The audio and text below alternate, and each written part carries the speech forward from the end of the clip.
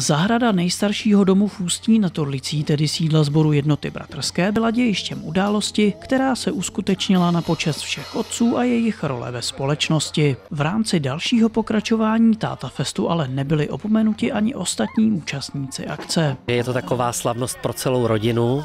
Eh, vyřádějí se děti, eh, maminky jsou, mají chvilku volné ruce a tatínkové můžou dětem předvíst, eh, co umějí, ať už eh, při boxu, nebo se vzduchovkou, nebo při lezení, eh, při slaňování. Při výběru aktivit kladli organizátoři důraz na to, aby jednotlivé disciplíny bavily zejména tatínky. Ti se mohli ujmout role aktérů nebo dohlížet na své ratolesti a předat jim otcovské rady a zkušenosti. I když třeba u stanoviště, kde se hrálo na bicí nástroje, byla specializovaná instruktorka. Ta se věnovala jak malým, tak velkým bubeníkům. rumo.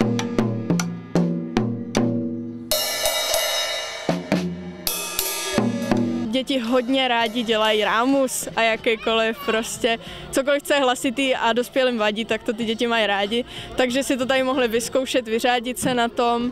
A ty starší nebo tatínkové, kteří chtěli, tak ty se mohli naučit nějaký rytmus. Avšak ne každý mladý muž projevil touhu stát se novým Johnem Bonhamem. Někteří třeba jednou nahradí Silvestra Stallouna v roli Johna Ramba. Vyzkoušel jsem si tady bubny a střílení a e, nejvíce mi z toho e, líbilo to střílení. Příslušníci tradovaného drsnějšího pohlaví ale mohli projevit i tvůrčí sklony. A koho nezaujalo nic z dosud jmenovaného, možná si přišel na své díky neokoukanému lákadlu. Letos poprvé si děti užívají zvířátka, živý zvířátka, který tady můžeme, můžou potkávat pravidelně. Takže mají tady andulky, mají tady ovečky, mají tady králíčky, které si můžou pochovat, krmit je.